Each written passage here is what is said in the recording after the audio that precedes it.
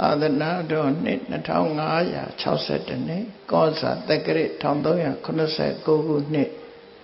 တပေါင်းလဆန်း6ရက်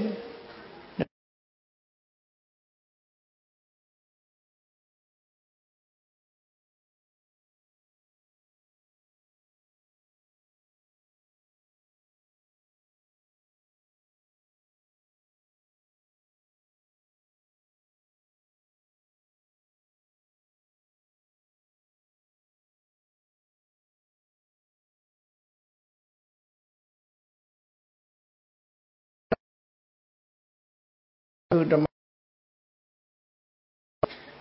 နှစ်ဖက်မိဘများအားအမှုထား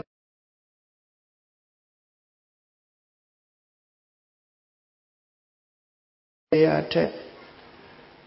မောင်အောင်ဖုံးမြတ်မိသားစုတို့၏အမတဒါနဓမ္မဒါနအဖြစ်ဖြင့်ကံကောင်းခြင်းလင်စိတ်ထား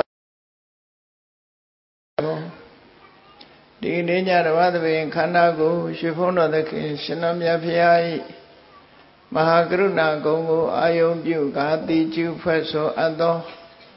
ဝန္ဒနာပနာမအာတိတဂါထာကိုရွတ်ဆိုပူဇော်ခြင်းဖြင့်စတင်ကြရအောင်ယောကပ္ပကောတိဟိပိယပမေယံကာလံကရွန်တော်တိဒုက္ခရာနိ ခေရံကတောလောကဟိတယနာထောနမောမာကာရုဏိကတတတ္တာယောနာထောဝိနိယမြာစွာတတ္တဝါဤချမ်းသာစီးပွားလိုလားတောင်းတကုံပေါင်းခါသဖြင့်နာထမြညာခြင်းရှင်တော်မြတ်ဖရာကောတိဟိပိ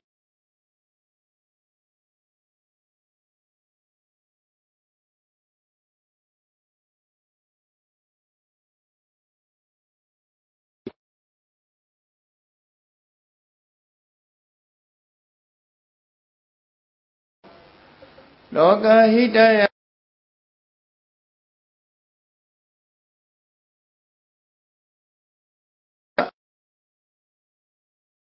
မေတ္တာကြည်သနိကျတိထဝေငါးတဲ့အစုအလုံးခဲရင်တော်မူတို့ကိုကရွန်တော်ဖျားဖြစ်ရန်ဤတန်ကြိုးကုတ်အာထုတ်တော်မူရသည်ဖြစ်ဖြစ် ခေရန်လက်ချေမျက်လုံးအသက်ဆုံးလည်းရဲ့နှလုံးစိတ်ဝံကိုရောဤပေမန်းခြင်းတို့ကတောဘဝတဏ္ဏချိန်ဖများစွာရောက်တော်မူခဲ့ရရှာလိပြီမဟာကရုဏီကသတ္တတေဝမြရင်ဝေသားကဲ့သို့တနာချစ်ခင်မာကရုဏာရှင်ဖြစ်တော်မူသောတသနာထသဝိနည်းများစွာတတ္တဝါဤ ချမ်းသာစီးပွားလိုလားတောင်းတဂုံပေါင်းခါသဖြင့်နာထမြညာထိုရှင်တော်မြတ်ဖရာအားဓမ္မောယုတိပြောင်းပြော့မန်ကိုလျော်၍ဘောယုကျု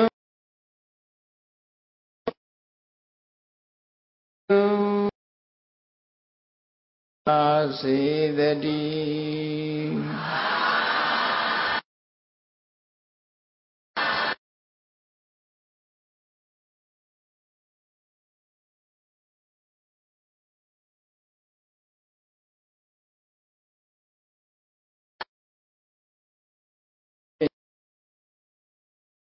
ကံကောင်းခြင်းတဲ့လူတိုင်းဟာစိတ်ထားပြင်ရမယ်ဆိုတာကိုသိလားဆိုမသိတဲ့လူကအလွန်များအဲ့တော့ကံကောင်းခြင်းတော့ဘာတွေလုပ်တုံးဆိုကံကောင်းမဲ့ထင်ပြီးတော့တခြားလုပ်တွေလုပ်ချတာသာသနာ့ဘာအခါမှာဆိုရင်ကံကောင်းမှုအတွက်ဆိုပြီးရေရရာတွေလုပ်ကြတယ် အမျိုးမျိုးဆုတောင်းတာတွေလုပ်တယ်ဆုပန်းတာတွေလုပ်တယ်အဲ့ဒါတွေလုပ်ရုံနဲ့ကံကောင်းနိုင်သလားဒီကနေ့ခေတ်မှာတောင်မှပဲကံကောင်းခြင်းတဲ့ပုဂ္ဂိုလ်ကလက်ကောင်းတဲ့အရာတွေကိုအဆောင်အဖြစ်အသုံးပြုနေကြသေးတယ်စဉ်းစားကြည့်ရမှာဖြစ်တယ်ကံကောင်းခြင်းတို့အဆောင်ကောင်းတွေလှုပ်ချတယ် နာမည်ကြီးဖရာပထိုးတွေသွားပြီးတော့အမျိုးမျိုးဖုံဖုံလှုပ်ကြတယ်ပရိစိတ်တာတို့ဆုတောင်းတာတို့ပန်းလူတာတောင်းရိုးရိုးပန်းမဟုတ်ပဲနဲ့ပေရင်ဆရာညွှန်းတဲ့ပန်းမျိုးနဲ့လှူထမ်းကြတာစဉ်းစားကြည့်မယ်ဆိုလို့ရှိရင်ကံကောင်းခြင်းလို့လုပ်နေကြတာဟာဘာတွေလုပ်ကြတော့ဆိုကံကောင်းတယ်လို့ ကံကောင်းလိမ့်မယ်လို့ယူဆပြီးယုံကြည်ပြီးတုံးနဲ့တူမတူတဲ့အလုပ်တွေလုပ်ကြတယ်အဲ့တော့တုံးနဲ့တူမတူဘူးဆိုရဲကံကောင်းခြင်းရဲ့အကြောင်းဟာမတူညီဘူးဖြစ်နေမတူသည့်အတွက်ကြောင့်တယောက်လုပ်တာမှားရင်နောက်တယောက်လုပ်တာမှန်အလုံးအောင်မမှန်နိုင်ဘူးဖြစ်တယ်။ဘာလို့ဆိုလူတိုင်းဟာကံမကောင်းကြဘူးအဲ့တော့ ဘုရားဗဒဝင်သူတော်စင်တွေအနေနဲ့ဒီကနေ့မြတ်စွာဘုရားဟောကြားဆုံးမတဲ့ဣတိက3သွဲနိကေ9ပြာဓမ္မခဏပေါင်း8400ဆိုတာမြတ်မပြေမှာထင်ရှားရှိတော့မှဖြစ်တယ်မိမိတို့ကိုယ်တိုင်လည်းဘုရားတရဏဂစ္ဆာမိဓမ္မတရဏဂစ္ဆာမိဆိုပြီးဘုရားတရားတန်ခါရဏသုံးပါးကိုစိတ်ကကိုးကွယ်နေကြတဲ့ပုဂ္ဂိုလ်တွေဖြစ်တယ်ဖြစ်ဖြစ်သည့်အတွက်ကြောင့် ကံကောင်းခြင်းဘာလို့ရမလဲမြတ်စွာဘုရားဘာတွေဟောထားတယ်ဆိုတာသိရှိနားလည်ဖို့အမတ္တမအရေးကြီးတယ်အဲ့ဒါမသိဘဲနဲ့မှန်းပြီးတော့ကံကောင်းလို့ကံကောင်းညာအဆောင်ကောင်းတွေရှာပြီးတော့လုံနေကြတာတကယ်ရောကံကောင်းနိုင်သလားကံကောင်းလို့ရှိရင်တော့မဆိုးဘူးပေါ့သို့တော့တကယ်ကံကောင်းနိုင်သလားဆိုတာဘဝမှာအာမခံချက်ပေးနိုင်တာရှိမရှိ အသိဉာဏ်နဲ့ဆုံးဖြတ်ကြအောင်ဖြစ်တယ်။လွန်ခဲ့တဲ့နှစ်ပေါင်း1600ကျော်ကရသဗျာဟာအဆုံးမ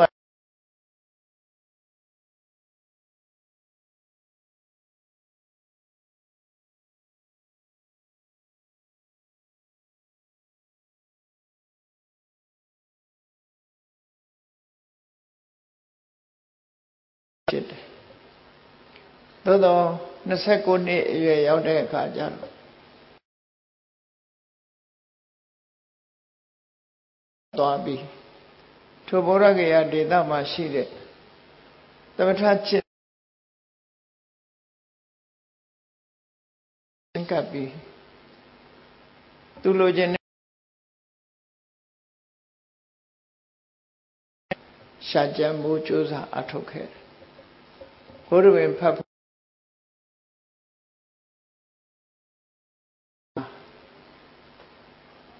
ဥရဝေလာတောမှာတရားဓမ္မကျင့်ကြံကြုတ်ကိုအထုတ်တာနီးမျိုးမျိုးနီးယူပြီးတော့အထုတ်တဲ့အခါသူလိုချင်တဲ့အဆင့်လက်ညွတ်နိုင်တဲ့ပုဂ္ဂိုလ်ရှာမတွေ့ဘူးမတွေ့သည့်အတွက်ကြောင့်သူတို့ပြသတဲ့နီးလန်းတွေဟာငါလိုချင်တဲ့အသိဉာဏ်ကိုပေးတာမဖြစ်နိုင်ဘူးငါလိုချင်တဲ့အသိဉာဏ်ကတော့တခြားဒိလံဖြစ်လောက်တယ်လို့ကိုယ်ပိုင်ဉာဏ်နဲ့ဆင်ញင်သုံးသပ်ပြီး တပဋ္ဌအခြေခံတဲ့ဝိပဿနာကျင့်စဉ်ကိုစတင်ထွေးရှိတာပဲဖြစ်ရသော်ဘုရားမပွင့်ခင်ကတပဋ္ဌမှာတင်အဆုံးသတ်နေတယ်ဘုရားလောင်းတွေးရှိလာတဲ့အခါကျတော့တပဋ္ဌရဲ့လမ်းဆုံးဟာဗြဟ္မဘုံမှာပဲလမ်းဆုံးတယ်ဒါကြောင့်မို့30ဘုံကမထွက်နိုင်သေးဘူး ဒီတပဒကျင့်စဉ်နဲ့တာလွန်နဲ့အကျင့်တစ်ခုရှိရမယ်အဲ့ဒီအကျင့်ကိုရှာတဲ့အခါမှာဝိပဿနာဆိုတဲ့အကျင့်အသိပညာနဲ့မှသာတွေ့နိုင်တယ်တပဋ္ဌဆိုတာတမာတိစွမ်းအားကိုမြင့်တင်တာပဲဖြစ်တယ်ဝိပဿနာရောက်တဲ့အခါမှာအသိပညာကိုမြင့်တင်တာမြင့်မားတဲ့အသိဉာဏ်တစ်ခုဖြစ်လာတယ်တန်ရောကလွတ်ရနိဗ္ဗာန်ကိုအာရုံပြုနိုင်တယ်လို့ဆိုတာကိုယ်တိုင်သိရှိပြီး ကိုယ်တိုင်နီးစနစ်နဲ့ကျင့်ကြံကြကိုအထောက်လိုက်တော့မှာဖျားဖြစ်လို့ရောက်တာကပိလဝမှာမွေးပြီးအိန္ဒိယနိုင်ငံမှာတရားကျင့်တယ်တရားကျင့်ပြီးတဲ့အခါမှာသူကဲ့သို့ထူးခြားတဲ့အသိဉာဏ်တွေကိုရချင်လို့ရှိရင်မလို့ရမှနဲ့လို့ရမှာဒီနှစ်ခုကိုရှင်းလင်းဟောတာ ဒါအရေးကြီးဆုံးပဲလေဘယ်လမ်းကသွားရမယ်ဆိုတာလမ်းပြဖို့ရအမှန်တမ်းအရေးကြီးဒါကြောင့်မို့မိမိကိုနှစ်ပေါင်းရှိကြာစွာမိမိအနာမှာနေပြီးတော့ပြုစုနေကြတယ်ကပိလုမြို့ကမြို့သားတွေလို့ဆိုရတယ်ကွန်တင်ညစတဲ့ပစ္စဝဂီတွေသူတို့တက်ရှိနေတဲ့ ဣတိပတနာမိဂရာဝံတောဘက်ကိုကြွားသွားပြီတပည့်စัจ जा တရားဟောတာတပည့်စัจ जा တရားဟောတယ်ဆိုတာမလောက်ရမှနဲ့လောက်ရမှဒီနှစ်ခုရှင်းလင်းပြတ်သားစွာဟောကြားခြင်းပဲဖြစ်တယ်ထူးခြားတဲ့အသိဉာဏ်တစ်ခုရဖို့အတွက်ရှောင်ရံနဲ့ဆောင်ရံအဲ့တော့ရှောင်ရံဆိုတာကိုနှစ်ခုဟောတဲ့အခါမှာ ဒွေးမိဘိခွေအန္တာပပိစိတေနနာသိဝိတ္တပါဒီလန်းနှလန်းတော့မလိုက်နဲ့ဒီလန်းလိုက်လို့ရှိရင်ထူးခြားတဲ့အသိဉာဏ်ရမှာမဟုတ်ဘူးဘယ်လန်းနှလန်းလဲလို့ဆိုရင်ကာမေတုကာမတုခဏိကနိယောကိုကာမကိစ္စတွေမှာကာမချမ်းသာကိုခံစားဖို့ကြိုးစားတဲ့လောက်ရအသိဉာဏ်တွေကိုဖြစ်စေနိုင်တာမဟုတ်ဘူးဒါကြောင့်မို့ ကာမဒုက္ခရရှိခံစားဖို့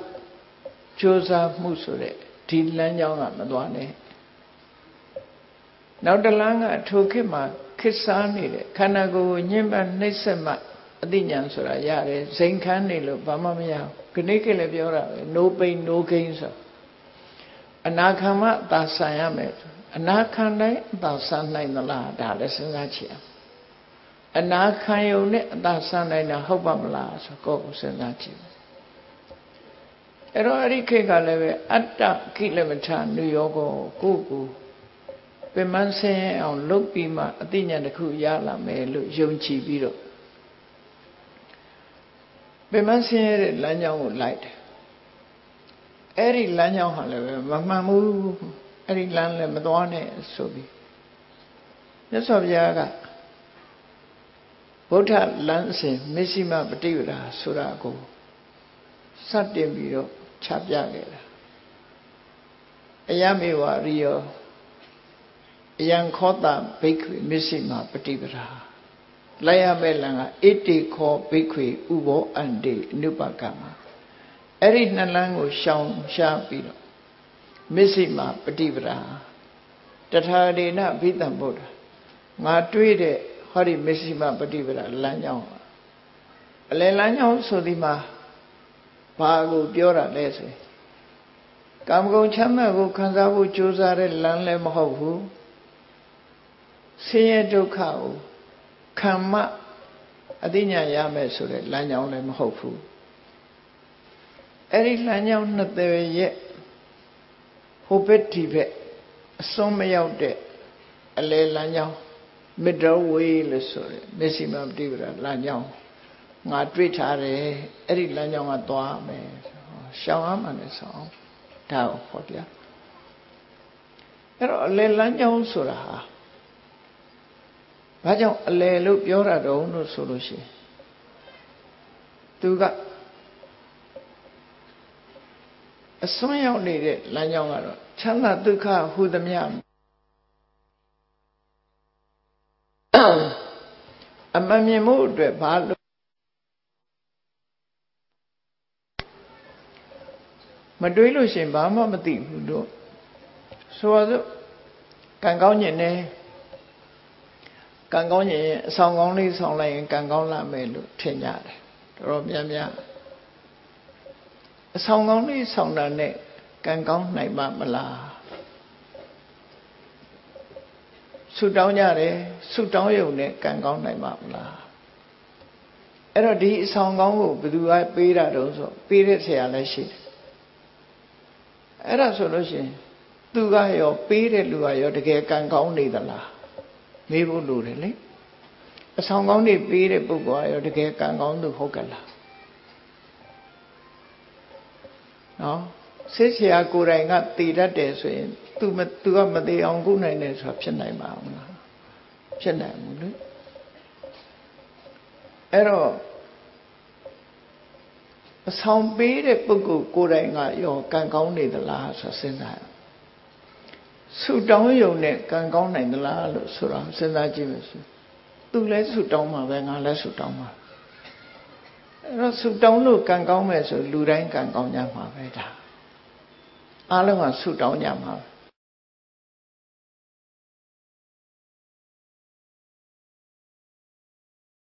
မကံဆိုတွေ့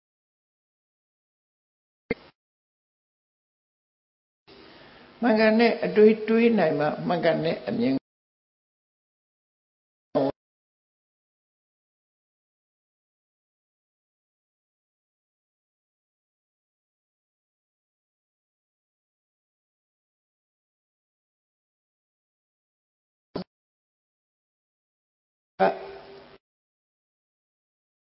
တမဝါစာပြီးတော့တမန်ကမ္မန္တအလုံးလုံးတယ်အပြောနဲ့အလုံးနဲ့ပဲအသက်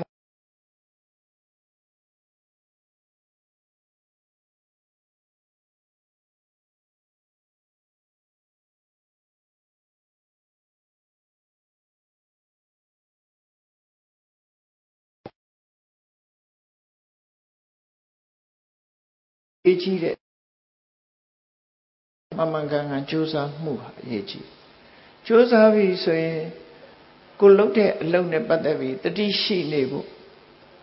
တမ္မာတတိတတိရှိနေတဲ့အခါမှာစိတ်တည်ငြိမ်မှုကအရေးပါတယ်ဆိုတမ္မာသမာဓိဆိုဟောမြတ်စွာဘုရားဟောထားတဲ့မဂ္ဂင်၈ပါးတရားဆိုတာနိဗ္ဗာန်ထီအောင်ပို့ဆောင်နိုင်တဲ့စွမ်းရည်တတိရှိတယ်လူလောကမှာလည်းပဲကံကောင်းမှုအတွက်ထောက်ကူတွေအများကြီးဖြစ်စေတယ်ဒီလိုဆိုလို့ ကံကောင်းမှုဆိုတာအလွယ်လေးနိဗ္ဗာန်ရဖို့သာခက်တာနိဗ္ဗာန်တောင်ပို့ဆောင်နိုင်တဲ့အကြောင်းတရားသည်ကံကောင်းမှုဆိုတဲ့အကျိုးလောက်ကတော့အသာလေးဖြစ်နေတယ်ဒါကြောင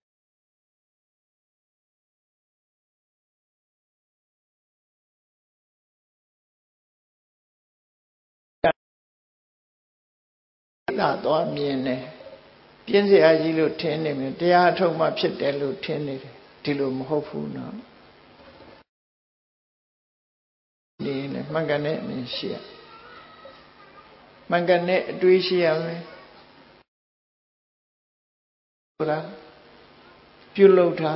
တမွေးဝါညောင်းလုပ်တာကြိုးစားတာအထုတ်တာတတိရှိတာ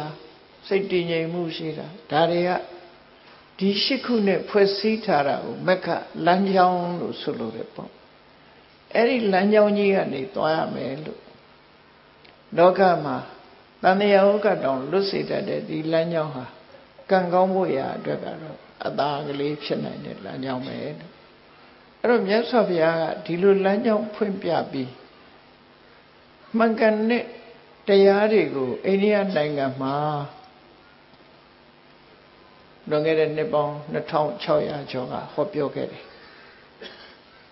ဟောပြောလို့ မြတ်စွာဘုရားဟောပြောချက်အတိုင်းလိုက်နာဆောင်ရွက်ကြသည့်အတွက်ကြောင့်ကံကောင်းသွားကြတဲ့ပုဂ္ဂိုလ်တွေအများကြီး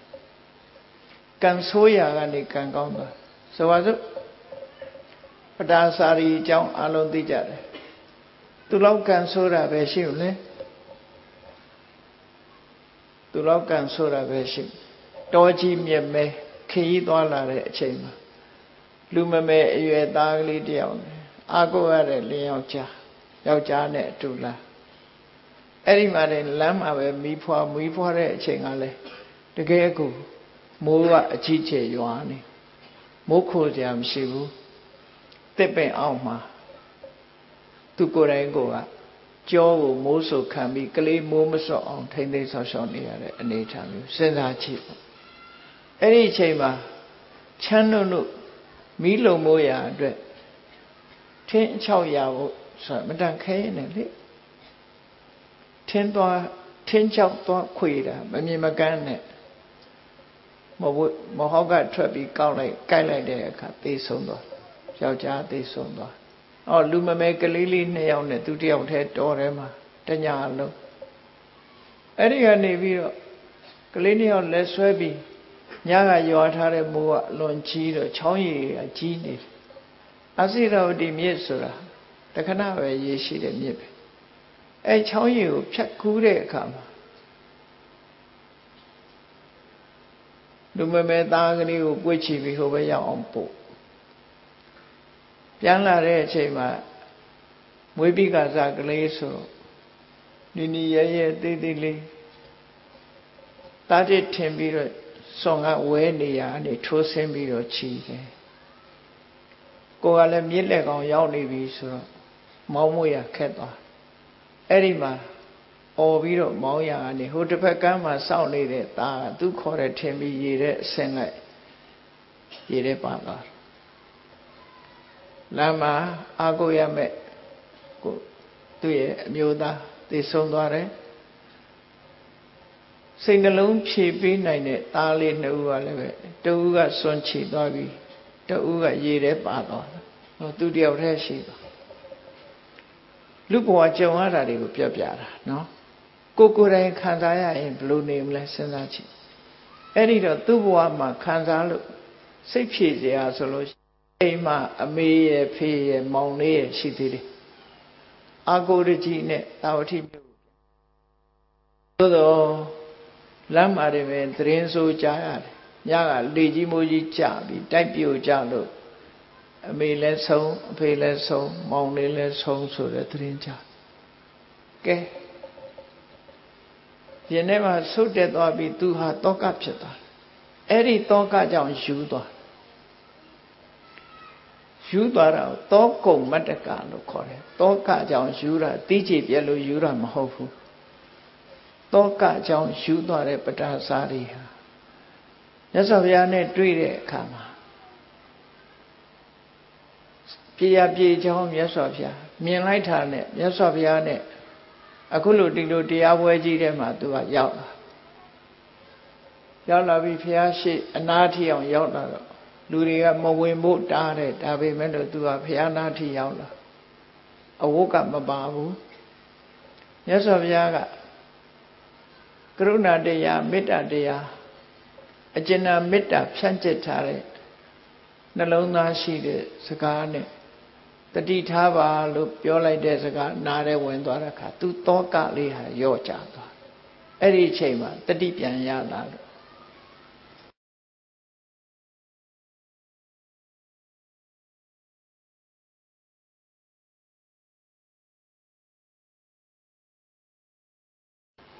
အဲ့ဒီကနေပြီးမြတ်စွာဘုရားပြဒနာဆွေ ဒါဒီဘဝတည်းမဟုတ်ဘူးဘဝပေါင်းများစွာကြုံတွေ့ရကြုံတွေ့ရလို့ငိုခဲ့ရတဲ့မျက်ရည်တွေဆိုတာပင်လယ်တွေကရေတဲ့များတယ်ဒါတော့ကပြေရပြေကြောင်းပြောဒီသားတွေသမီးဒီသားတွေနဲ့ဒီယောက်ျားနဲ့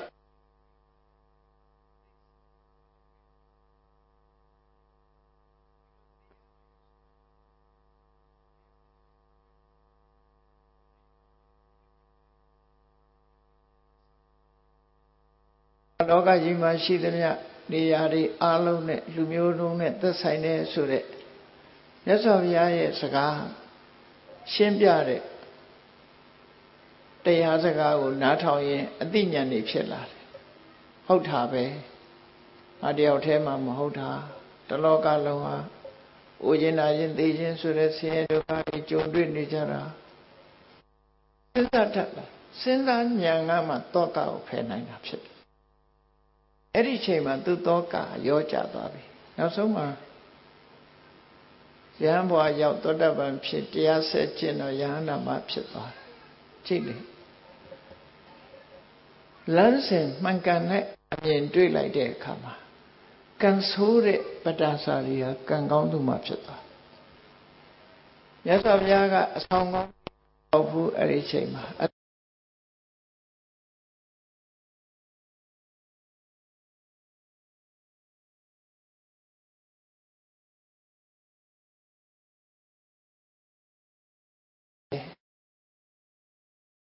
ကောင်းကြီး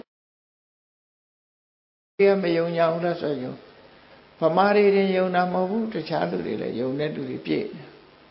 သို့တော့အဆောင်ကောင်းယုံနဲ့ကံကောင်းတယ်ဆိုတာဘယ်နှယောက်များရှိလို့ရေတွက်ပြပေါ့ကိုယ်ရဲ့ချမ်းသာတဲ့လူတွေဟာအဆောင်ကောင်းလို့ချမ်းသာနေကြတာလားစီးပွားရေးအောင်မြင်နေတဲ့ပုဂ္ဂိုလ်တွေဟာအဆောင်ကောင်းလို့လားမေးကြရှိရလေသူတို့ဘာတွေကောင်းလို့ချမ်းသာတာလဲဆိုတာ မြတ်စွာဘုရားဟောတဲ့အခါကျရှင်းအဲ့တော့ဗုဒ္ဓဘာသာဖြစ်ပြီးဒုရတွေဟာကံကောင်းခြင်းလို့ရှိရင်ဘာလို့အမဲဆိုတာတိတိကျကျမသိချပဲနဲ့ဆူတောင်းတာဟာကံကောင်းတယ်လို့ထင်တယ်အဆောင်ကောင်းဆောင်လို့ရှိရင်ကံကောင်းတယ်လို့ထင်တယ်ကြံပင်ဆိုင်ရဲ့အကြံစီအောင်တယ်လို့လည်းပြောကြတယ်ဂျင်းဆိုင်တဲ့အခါမှာချက်ချင်းကြီးပွားတယ်လို့လည်းပြောကြဒါတွေဟုတ်ကဲ့လား အများကြီးပဲအကုန်လုံးတော့မပြောချင်ပါဘူးနော်ရှေတရားဆိုတာအများကြီးပဲလုံနေကြရှေတကုံဖះပေါ်တက်ကြည့်စနေတော်ကဖះစနေသားသမီးတွေလာပြီးရေလောင်းနဲ့မွန်းနေတနင်္ဂနွေတော်ကဖះတနင်္ဂနွေသားသမီးတွေလာမောင်းဘာလောက်ကြတာတုံးလို့မင်းကံကောင်းခြင်းလို့လုပ်နေကြတာအဲ့ဒါတွေကတော့ကံကောင်းနိုင်သလား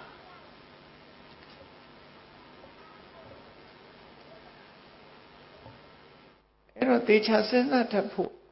လိုအပ်တယ်လို့ဆိုမြတ်စွာဘုရားကစဉ်းစားဖို့ပဲဟောတာတရားအဲ့တော့မြတ်စွာဘုရားဘုန်းကြီးတို့ဒီလိုခေါ်လိုက်လို့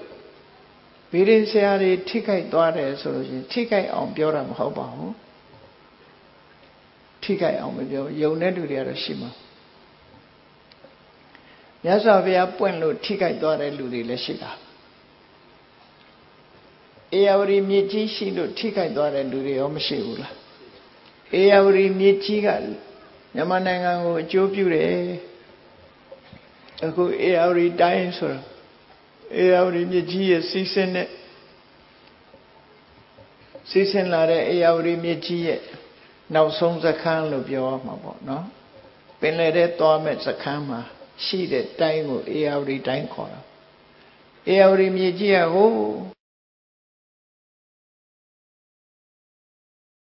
နဲ့မလီ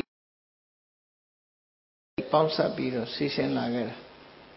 ဒုဒ္ဓဝတီတို့အလဝတီတို့ဇောချီတို့ပန်းလောင်တို့ဆိုတဲ့မြစ်တွေရဲ့အားဖြည့်ပေးလိုက်တာ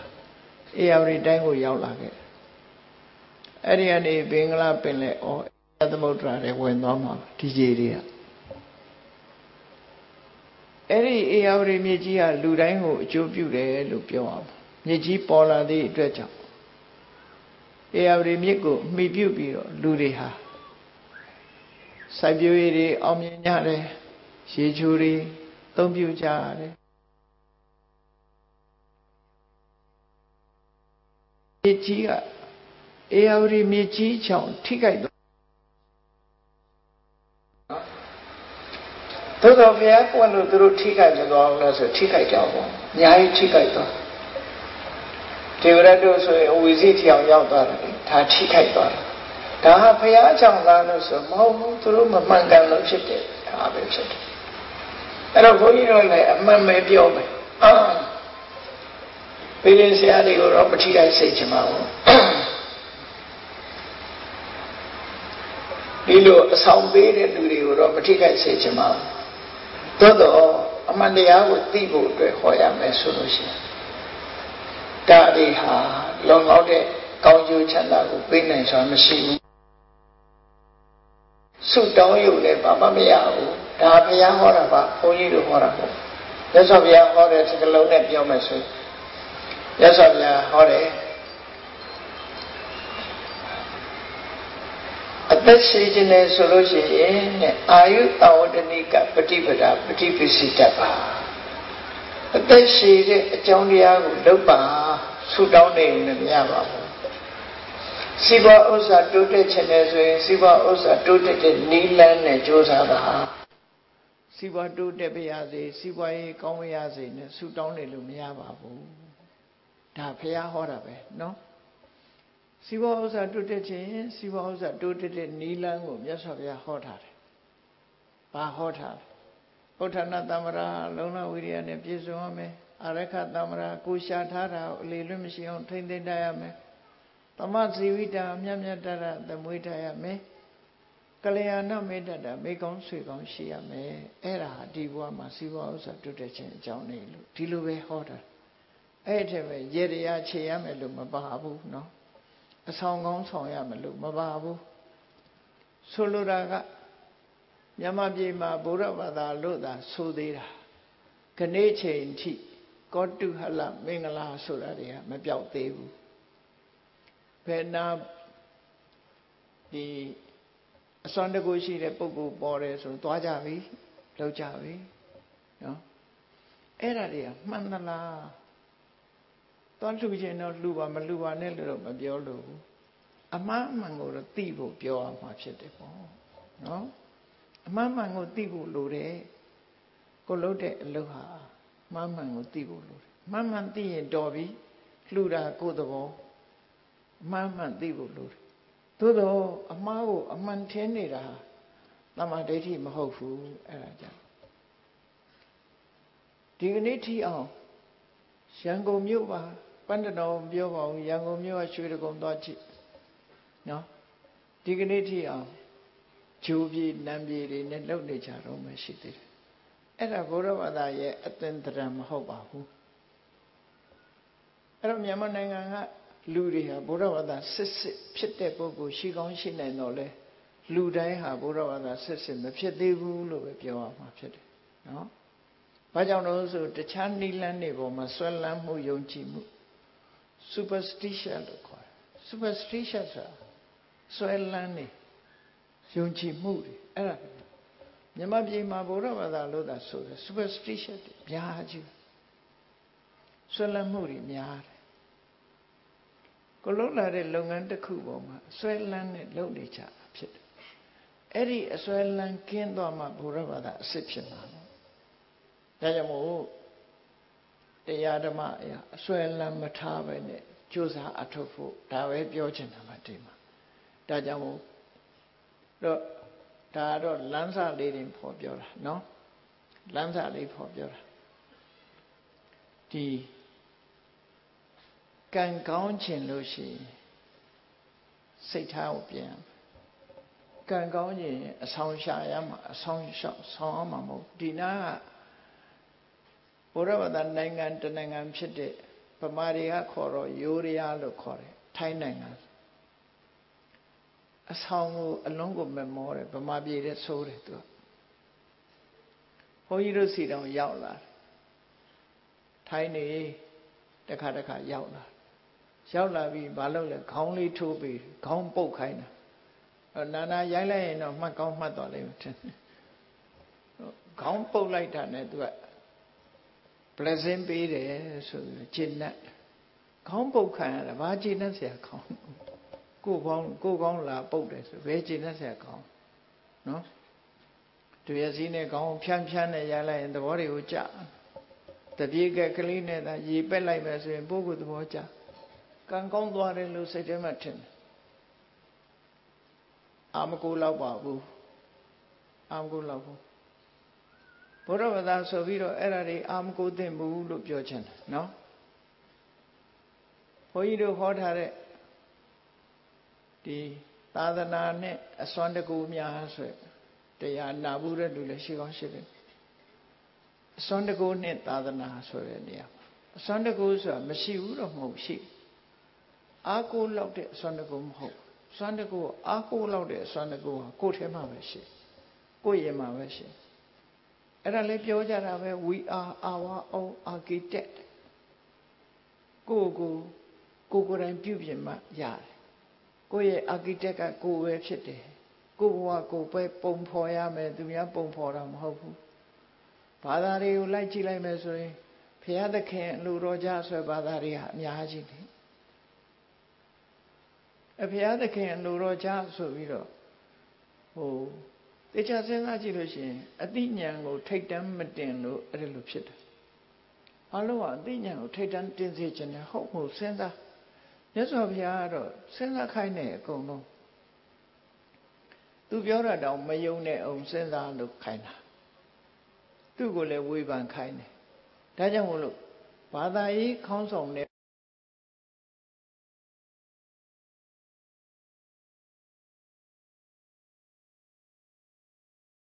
အဲ့တော့ကောင်းကင်ဘုံမှာရှိတဲ့ခော့ဆိုတဲ့သာဝရဘုရားသခင်က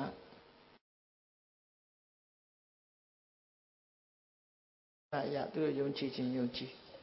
မယုံကြည်တဲ့လူတွေစဉ်းစားဖို့ရပြောပြမလို့ကောင်းကင်ဘုံမှာရှိတဲ့နတ်ရဲ့လူပြေမှာရှိတဲ့နတ်ပန္တနောလူတွေပေါ်လာပါလာတော့မသိဘူးတောင်မြုံမွဲကြတော့အောက်ကအောက်ပိုင်းကလူတွေလာတာတော့တော်တော်များတယ်နောက်ကြလို့ရှင်လဝကကိုမှားထားအောင်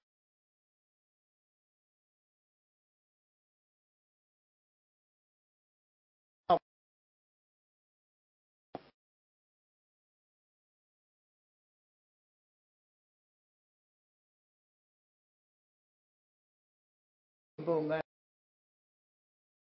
မြေပြင်ပေါ်ကနတ်ဖက်ဖြစ်ဖြစ်စကားပြောခွင့်ရလားစဉ်းစားကြည့်ဘသူပြောတာလက်ခံရတော့ဆိုမြေကြီးပေါ်ကနတ်ကနတ်ကြောပြောတာလက်ခံရတယ်ကောင်းကင်ဘုံကနတ်ကထဒီတမန်တော်ဆိုတာပြောတာနားထောင်နောက်တစ်ခါကြုံလို့ရှိရင် တောင်မြုံလာတဲ့အခါကျတော့တောင်မြုံနဲ့နဲ့တိုက်ရိုက်စကားပြောချင်ပါတယ်တယ်လီဖုန်းနံပါတ်ပေးပါလို့သာတောင်းနတ်ကတော်ကနေတဆင့်မပြောချင်ဘူးသူကိုယ်တိုင်နတ်ကိုယ်တိုင်နဲ့စကားပြောချင်တယ်ကောင်းကင်ဘုံကခေါ်လဲကိုယ်တိုင်စကားပြောချင်တယ်ခုခေတ်တယ်လီဖုန်းတွေပေါ်နေတယ်လီဖုန်းနဲ့ဆက်ပြီးကိုယ်တိုင်ပြောမယ်မီဒီယေတာဆိုတဲ့ဈာခံကိုလက်မခံနိုင်ဘူးသူပြောလိုက်အဲ့တော့ မြတ်စွာဘုရားရဲ့အဆုံးအမထဲမှာဈာခံမီဒီယာပြောတာကိုလိုက်ခံရတာတခုမှမရှိဘူးနော်တရားကုံတော်6ပါးတဲ့သိတယ်မဟုတ်လားတန်ဒိဋ္ဌိကိုကိုယ်တိုင်မြင်နိုင်တယ်ကိုယ်တိုင်သိနိုင်တယ်သို့တော့ကိုယ်တိုင်သိဆိုလူတိုင်းသိလားလို့ဆိုပစ္စတံဝေရိတဘောဝိညုဟိပညာရှိမှသိမှာအသိဉာဏ်ရှိဖို့လိုတယ်အဲ့ဒါကြောင့်မလို့ မြတ်စွာဘုရားဟောတဲ့ဟာအဆုံးအမစကားသာလင်ဖြစ်တယ်အဲ့ဒီအဆုံးအမစကားဟာမှန်ကန်တဲ့အဆုံးအမစကားဖြစ်လို့နားထောင်ရုံတတ်တဲ့နဲ့မပြီးပါဘူးဆေးနဲ့အလားတရံတူတယ်ဆေးဆိုတာတောက်မှအကျိုးရမှာဖြစ်တယ်ညွန်ကြားထားတဲ့ဆေးကိုတောက်ဖို့လိုတယ်လို့ပဲမြတ်စွာဘုရားရဲ့အဆုံးအမဆိုတာလဲဘာလဲလို့မေးလို့ရှိရင် မလုံးရမှနဲ့လုံးရမှ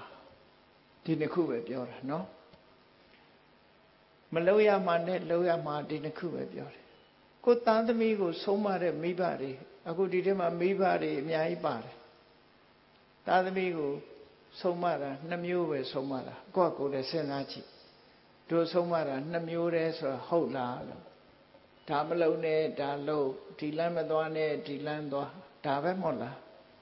မလို့ရမှနဲ့လို့ရမှဒီတစ်ခုပဲပြောတာပဲအချင်းချုပ်လိုက်လို့ရှိရင်မလို့ရမှနဲ့လို့ရမှဒီတစ်ခုပဲပြောမြတ်စွာဘုရားကလည်းဆုံးမတယ်ဆိုတာဒါပဲပြောတာဒါမလုံးနဲ့ဒါလို့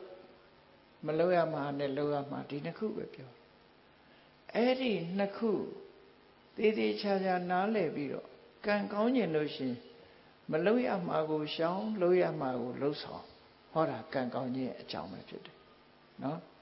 စေရနာကောင်းလင်ကံကောင်းသည်လို့ပြောတာဟာကစေရနာတစ်ခုတည်းကိုဥတည်ပြောတာအခုဒီကနေ့ညမြတ်စွာဘုရားဟောတဲ့တုတ်တန်တစ်ခုအရာကံကောင်းအောင်တို့ဘာတွေလုပ်ရမလဲဒီမြတ်စွာဘုရားကကံကောင်းခြင်းလင်စိတ်ဓာတ်ကိုပြင်တဲ့ကိုယ်စိတ်ဓာတ်ကိုပြင်ရမယ်စိတ်ဓာတ်ပြင်ရမယ်ဘာတွေပြင်ရမလဲ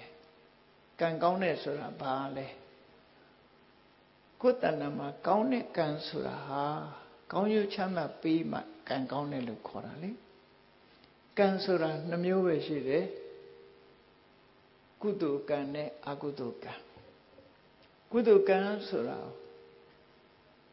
ကောင်းတဲ့အပြစ်ကင်းပြီးကောင်းကျိုးချမ်းသာတွေကိုပေးတာကိုကုသိုလ်ကံလို့ခေါ်ပြီးတော့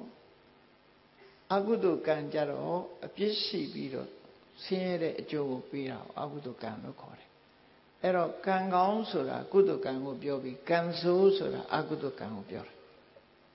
နော်လောကလူတွေကကံဆိုးကံကောင်းကိုကုသိုလ်အကုသိုလ်ကံမပြောဘဲနဲ့ထီပေါက်ရင်လည်းကံကောင်းတယ်လို့စီပါဥစ္စာတက်လာရင်လည်းကံကောင်းတယ်လို့ထင်အဲ့ဒါတကယ်ကတော့ကံရဲ့အကျိုးသာလည်းဖြစ်တယ်ကံကောင်းတာမဟုတ်သေးဘူးနော်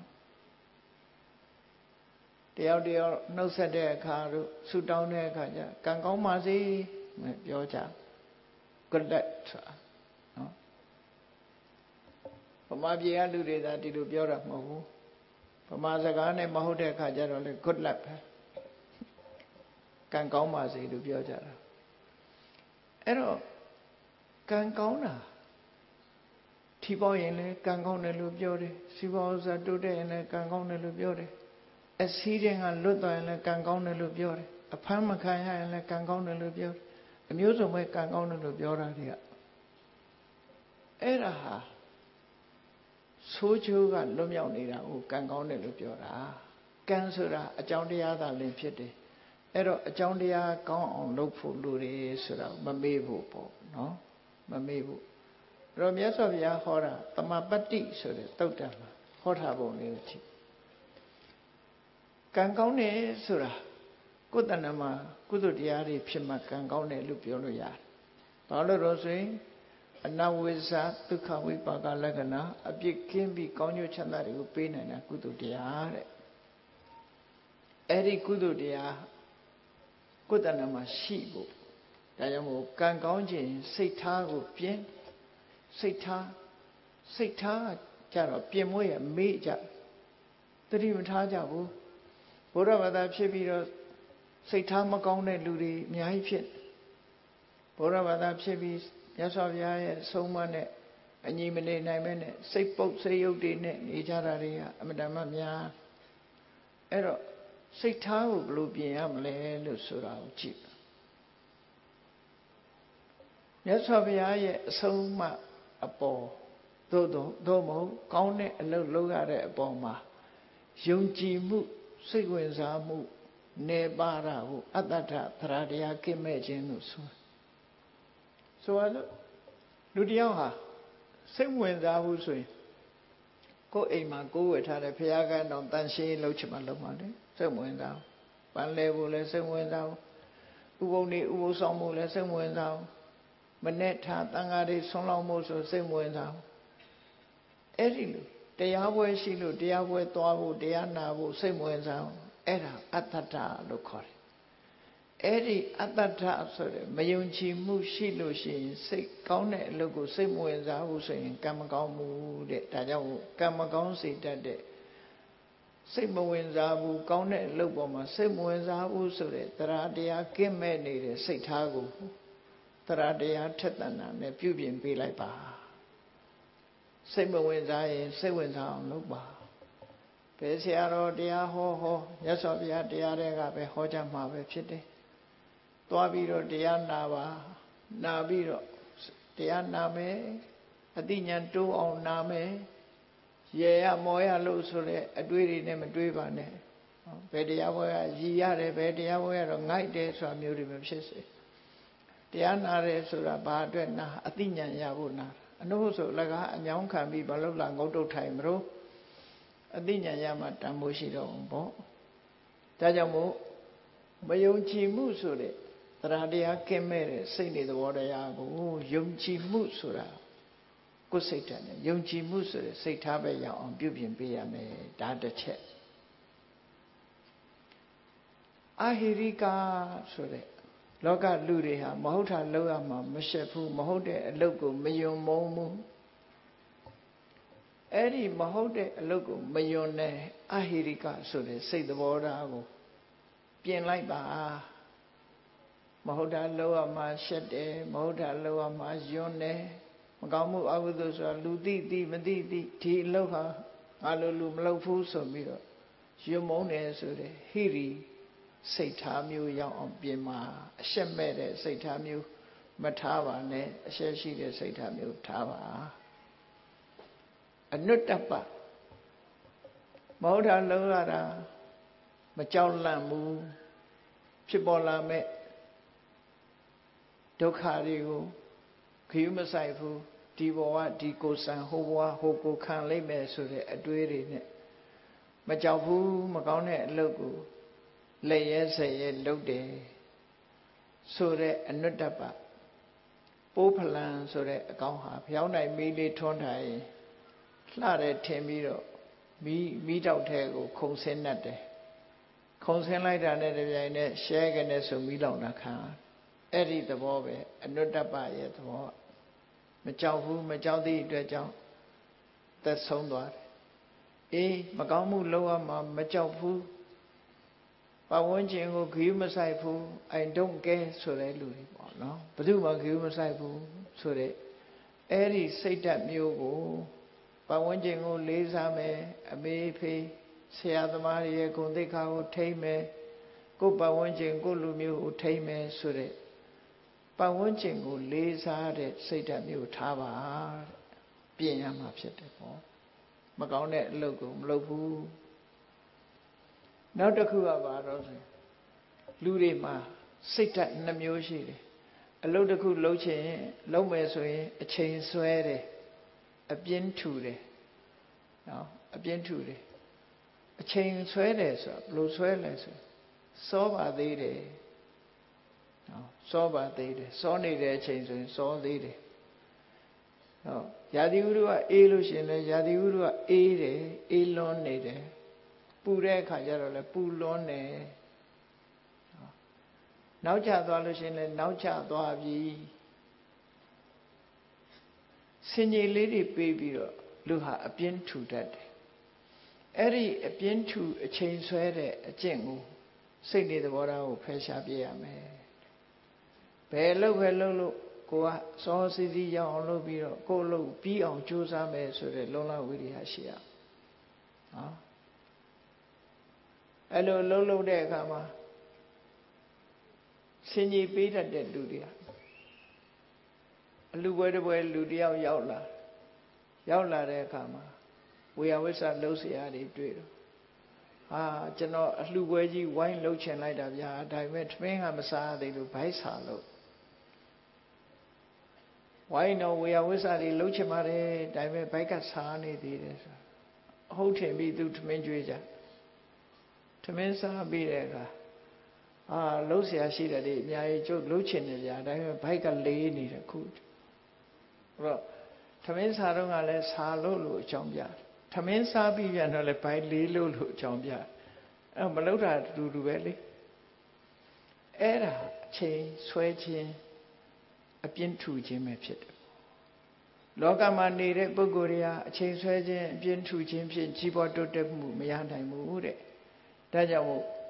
ပြင်းရခြင်းအပြင်းထူခြင်းအချိန်ဆွဲခြင်းဆိုတဲ့အကျင့်ဆိုးစိတ်နေသဘောထားတွေကိုပြင်ပြီးတော့ဘာလှုပ်လို့နောက်မဆုတ်ဖဲတက်တက်ကြွကြွချိုးစားအထုံးပဲဆိုတဲ့လုံလဝိရိယစိတ်နေသဘောထားကိုပြင်ပါအဲ့ဒါဆိုရင်ကံကောင်းလာပါလိမ့်မယ်ကံကောင်းခြင်းအဲ့ဒါလှုပ်ဖို့လိုအဆောင်နေဆောင်းမနေနဲ့ဒီတိုင်းနေနော်ကံကောင်းလာလိမ့်မယ်နောက်ဆုံးအရေးကြီးဆုံးကတော့ဘာတော့ဆိုရင်စဉ်းစားညာ စဉ်းစားညာမရှိဘူးဆိုရင်ကံမကောင်းနိုင်ဘူးလုံးတင်တာနဲ့မလုံးတင်တာမစဉ်းစားတတ်ဘူးစီးပွားရှာတဲ့အခါမှာလည်းပဲဒီဒီဆင်ញင်တုံတရားမရှိဘူးဆိုရင်စီးပွားဥစ္စာမဖြစ်ဘူး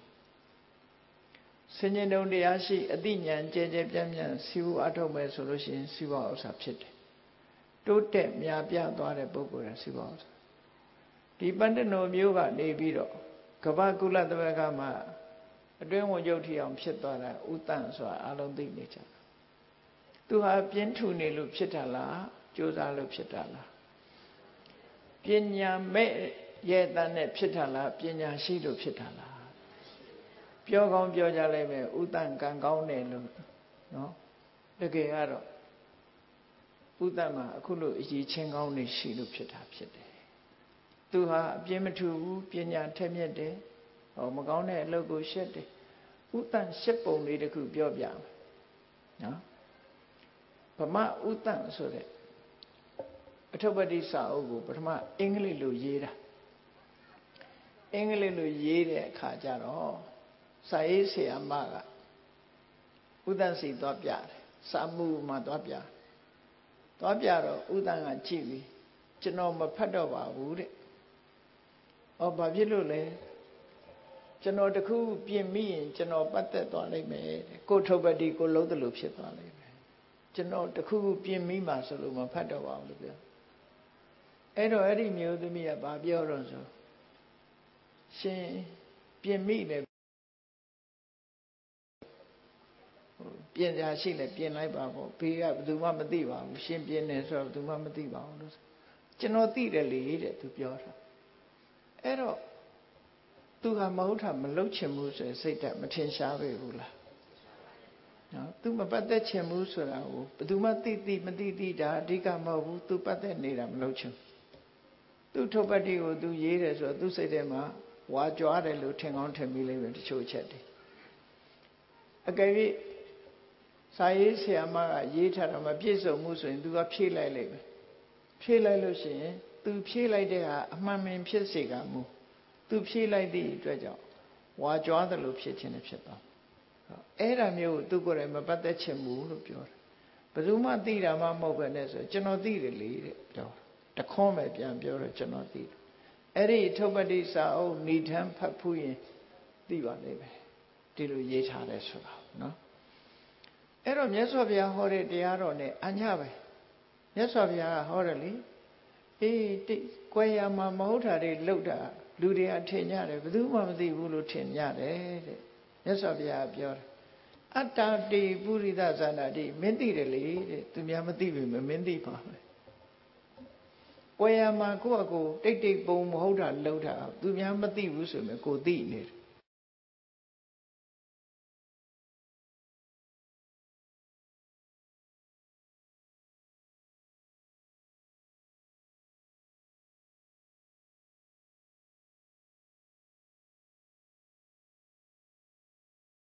မံပကရုပတော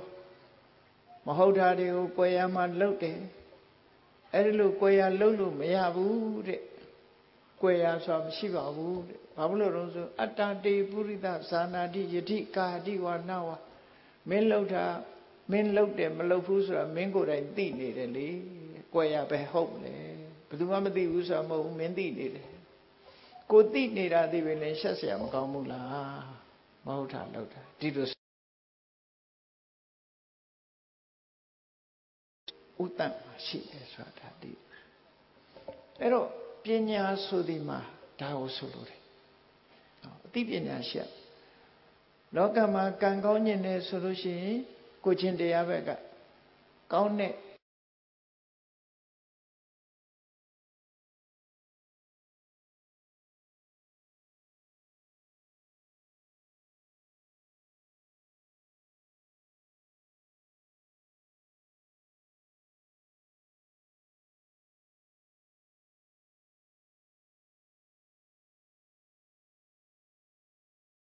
ဆိုအပြစ်မထူရဘူးကြိုးစားရမယ်ကိုလှုပ်တော့ဤမျိုးစုံနဲ့ကြိုးစားအထောက်ရမယ်ဒါစိတ်ဓာတ်ကိုပြင်သင်ရမယ်ဒါလို့ဆိုလို့အခုဒီပတ္တနော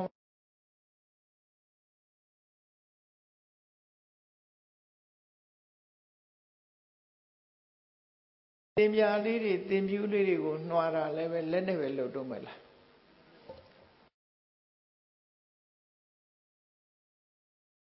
ကိုတင်ပြအချက်ပေါင်း100လောက်ဖြစ်အောင်ကြိုးစား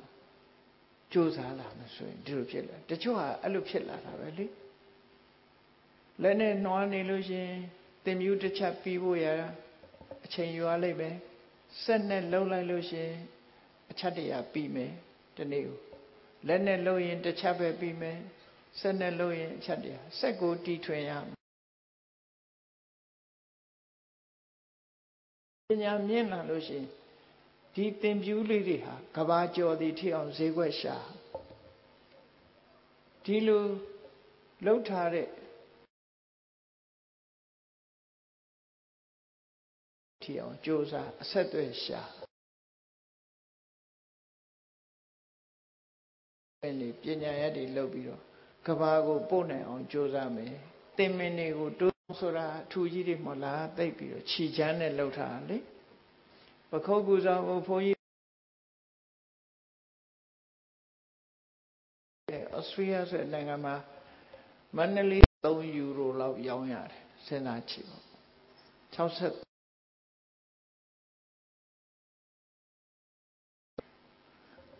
60မာငွေနဲ့ဆိုရင်သိမ့်ချီရမှာပေါ့ဒါဆိုင်ဘူးဆိုတာတွေကဖြစ်လာတယ်ခဏခေတ်နော်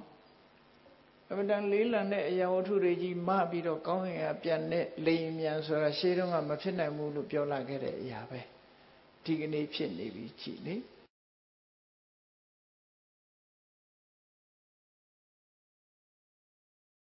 တို့ချက်ဆိုင်ပြီး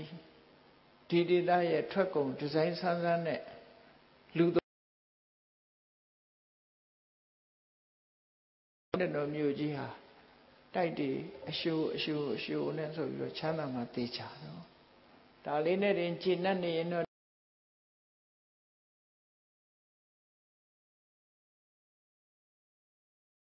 ကဘာမှာဖြန့်ချိနိုင်အောင်လည်းကြိုးစားရမယ်ဒီတဲ့ ကြိုက်တာပါရှိတယ်ငါတို့ဘလို့ဖြစ်တင်းနိုင်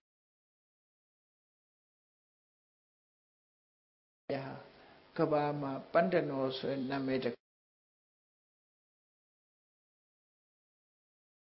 အဲ့ဒါလို့ကြိုးစားရမှာအဲ့တော့အရေးကြီးဆုံးကဘာတော့ဆိုရင်ကံကောင်းခြင်းလို့ရှင်စိတ်ဓာတ်ရမယ်ဆိုရင်ဒီတိကျိုးပါမြတ်စွာဘုရားရဲ့အဆုံးအမဟာလည်း ဆုတောင်းနေလို့ကံမကောင်းဘူးအဆောင်ကောင်းကောင်းနေဆောင်ထားရုံနဲ့ကံကောင်းလာမှာမဟုတ်ဘူးကံကောင်းပြီးတော့ကောင်းတဲ့ကောင်းတဲ့စိတ်ဓာတ်တွေမွေးမြူရမှာဖြစ်တယ်ဒါတွေကြိုးစားအထောက်မှုဆိုတဲ့လုံလဝီရိယအသိပညာတိုးမြင့်ခြင်း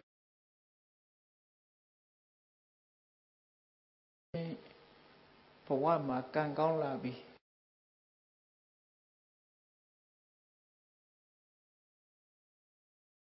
လုပ်ကြအောင်မှာဖြစ်ပါတယ်တရားချက်ခင်သူတော်စင်ပြိဿပေါင်းတို့မူခဲ့တဲ့သမပတ္တိတုတ်တံမှာဟောထားတာရှိပါတယ်ဒါကြောင့်မို့ဖြစ်တရားလျောစွာတို့တွေကံကောင်းပြီးကြီးပွားတိုးတက်ခြင်းနဲ့ဆိုလို့ရှိရင်ဝီရိယရှိရမယ်ပညာရှိရမယ်ကိုချင်းတရားကောင်းမွန်ရမယ်ကောင်းတဲ့လုပ်ပေါ်မှာစိတ်ဝင်စားရမယ်ဆိုတဲ့စိတ်ဓာတ်တွေ မိမိရဲ့တဏ္ဍာမှာမရှိသေးရင်ရှိအောင်ရှိပြီးလို့ရှိရင်တိုးတက်ရှင်သန်များပြားခိုင်မာလာအောင်ကြိုးစားအထောက်ကြအမှာဖြစ်တယ်လို့ကိုစီကိုစီမှတ်သားပြီးကျင့်ကြံပွားများကြိုးစားအထောက်နိုင်ကြပါစေကုန်သတည်း